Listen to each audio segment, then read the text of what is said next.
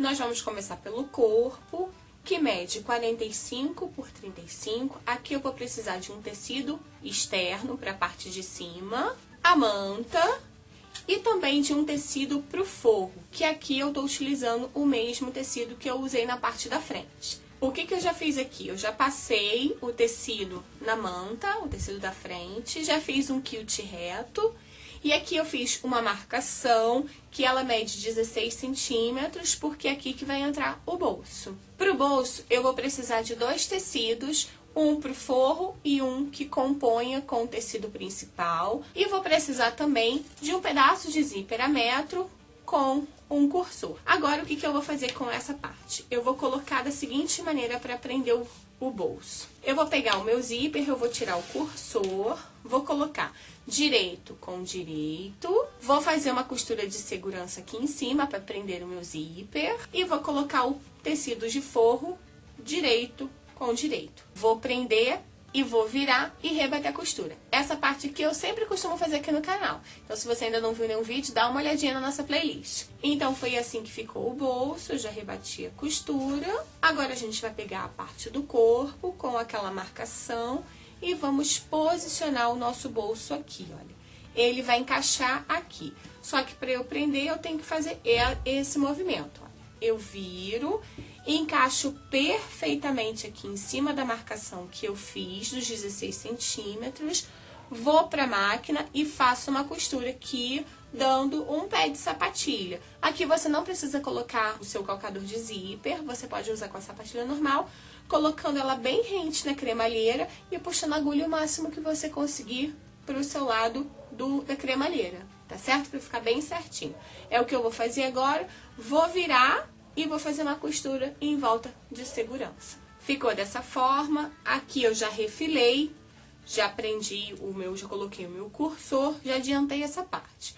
Agora eu vou pegar um gabarito, ou se você não tiver, pode ser um CD, ou até mesmo um tubo de linha, que dê pra você quebrar esses cantinhos aqui, fazer ele ficar arredondado.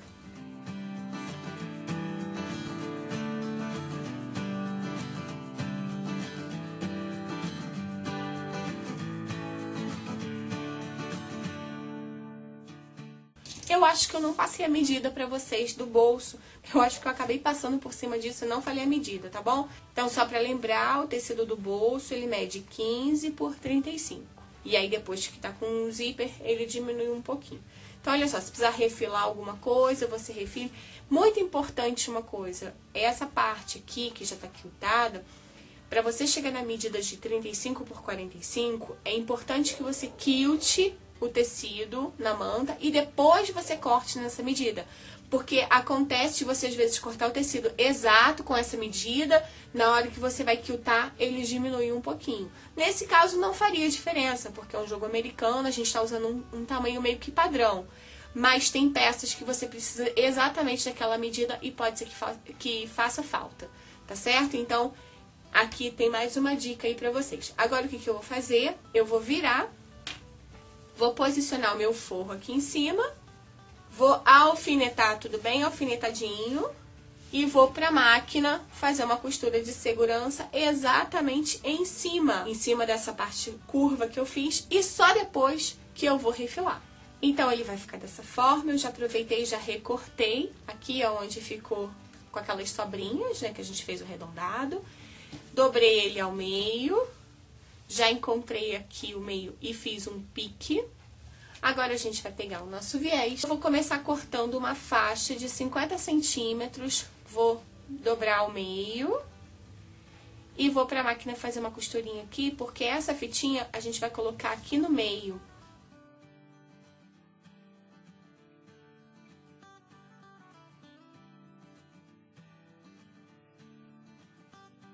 Vou deixar essa parte aqui separada. E agora eu vou começar a prender o viés no nosso ópice. Eu vou virar ele pelo lado de trás, pelo lado avesso, né? Vou posicionar o meu viés direito com direito. Vou encostar ele bem aqui, olha, rente ao tecido. Aqui eu não tenho muita espessura, então não tem necessidade de eu abrir essa parte aqui. Eu permaneço com essa partezinha aqui, olha, fechada e eu utilizo como guia essa, essa própria marcação aqui da dobra, né? Eu utilizo como guia para fazer minha costura. Eu vou costurar tudo à volta, vou virar e rebater a costura.